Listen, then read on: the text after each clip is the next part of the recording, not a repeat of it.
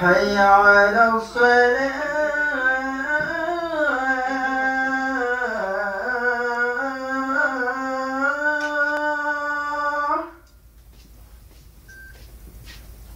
حي على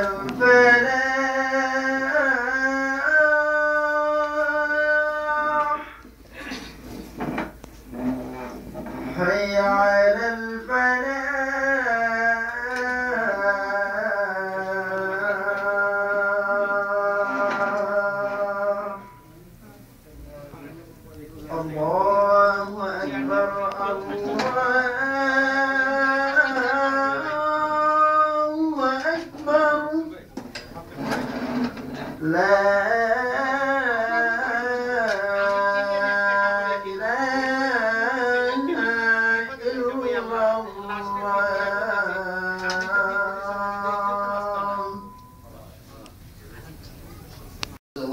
scholar and sage of Indian subcontinent.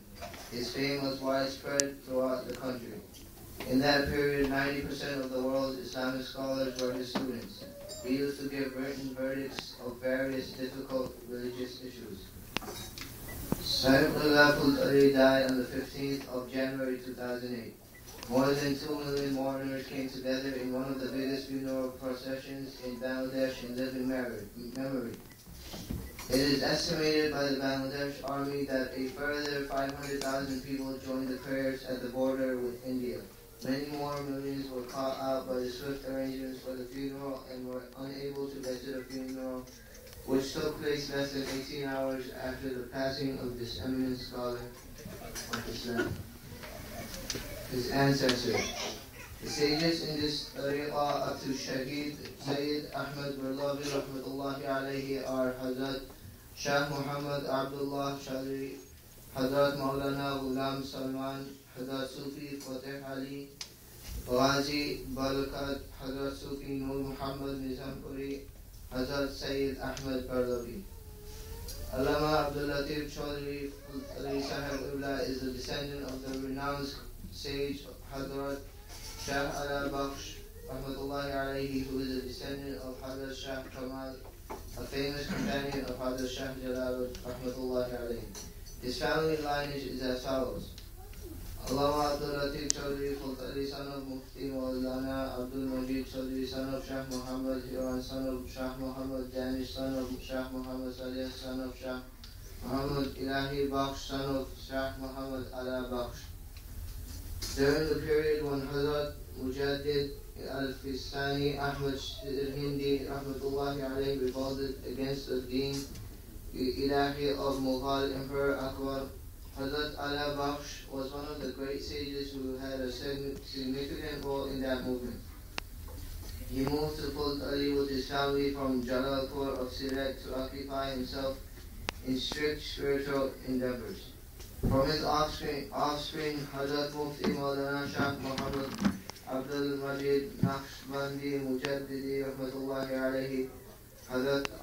Fultali Sahibullah was born. Educational background Hazrat Allama Fultali Sahibullah started his education from his own family.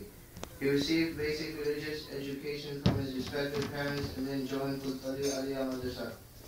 His primary tutor Maulana Fatir Ali Rahmatullahi alayhi was his distant cousin brother. During that period, he studied Qiraat and Tajweed under Qari Sayyid Ali Sahib. At that time, his honorable father was the headmaster of Gungajol Madrasa. His student, the headmaster of Rangauti Madrasa, a renowned scholar, Maulana Abdul Rashid, requested his respected teacher to enroll Fultali Sahib in that madrasa. In 1336 Bangla, he took admission and studied there successfully. Was a student of Sahibullah's father. After that, he enrolled into Badalpur Senior Madrasa in 1338 Bangla and finished higher secondary education from there.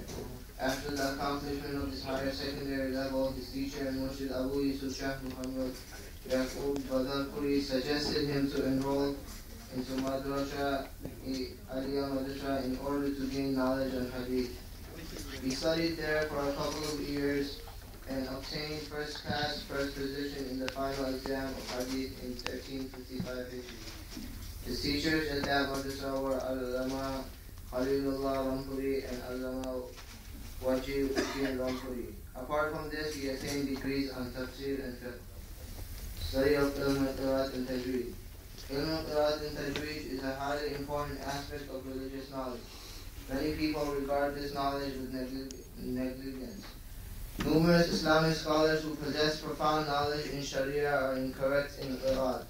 However, Hazrat Allamatul Ali Sahib gained proficiency in Ilm al-Qiraat with great importance. He obtained the first sanad in Ilm al-Qiraat from his peer and Murshid Hazrat Abu Yusuf Shah Muhammad Yaqub al-Rakuri rahmatullahi alayhi. He studied further Ilm al-Qiraat by the suggestion of his peer and Murshid from the renowned Qari of India, Sabkhan Hazrat Maulana Hafiz Abdul Rauf Karampuri Shahbazpuri. Hazrat Shahbazpuri was a student of world famous Qari Hazrat Isus al-Misri. Hazrat Abdul Rauf was from Karampur in Borlekha sub-district of Maulavi Bazar district and due to this fact he was known as Karampuri and Shahbazpuri. In 1351, Bangla, with the permission of his worship, he made journey to the Holy Land of Revelation to study and achieve the highest honors in Ilm al and Tajweed. There he attended the, the service of Raisul Qura Ahmad al-Hijaz. With Allah he was the most famous audio of the whole Muslim world and the chief examiner of the and Imams of Masjid al-Haram to study Ilm al At first, Hazrat Ahmad al-Hijazi refused to listen to someone from India as a pronunciation pronunciation of Indian student is incorrect. However, when he was informed that Allama Fultali Sahibullah studied under the student under the student of, of famous Qari Irkusus al-Misri, he started serving as a teacher at Badalpur Aliyah Madrasa in 1946 AD after he had finished his education. He pursued his job there until 1950 AD after that, he joined Gachbari Aliyah Madrasa as a, as a muhaddith in 1954. He served there for six years. He was respectively made vice principal and principal within this short period. He then joined Shadpur Aliyah Madrasa and Ichamati Aliyah Madrasa as a muhaddith and taught hadith. He at this time successfully taught Bukhari, Nasai, Ibn Majah, Ifan, Nurul Anwar, Tirmidhi, Abu Dawud, Hidayah, Jalalain, and so on. He used to teach hadith at Kamil Jamaat in Fultali Aliyah Madrasa two days a week until his wafat. He bestowed the certificate of hadith to, to, to his students in 2006. In his long sphere of teaching, he has illuminated thousands of students by his knowledge. Inauguration of Darul Iraq.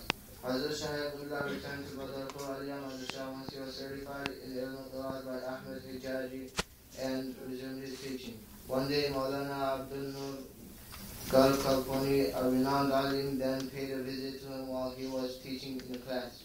Shahidullah gleefully welcomed him and asked him to sit by his side.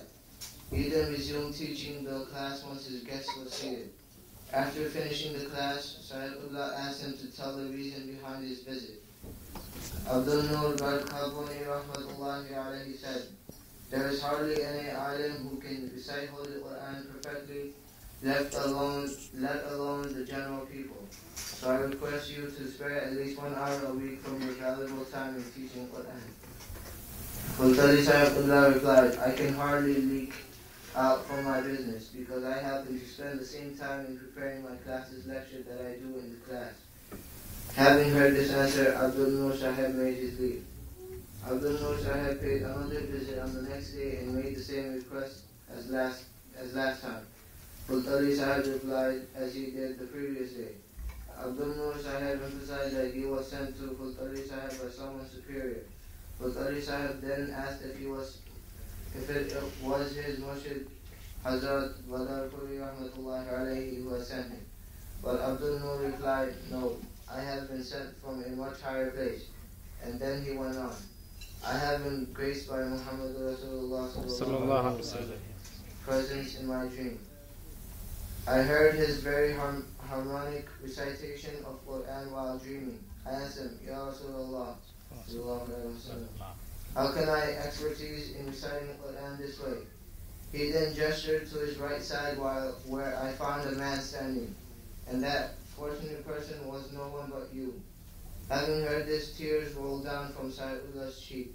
He immediately hugged him and said, I'll give you I'll give you word to teach Quran every every Thursday after 12 at the mosque that is a short distance from Hazrat Adam Hafiz uh, Majah. Thus Sahibullah began his service of ilm He would tra- travel on foot or ride horses to reach long distances in order to give voluntary service to the study of ilm Wherever he go, he found many enthusiastic ulama kirams who wanted to learn perfect recitation of Quran. Sahibullah patiently and repeatedly performed much. As a result of these sincere efforts, many renowned ulama benefited from his teaching.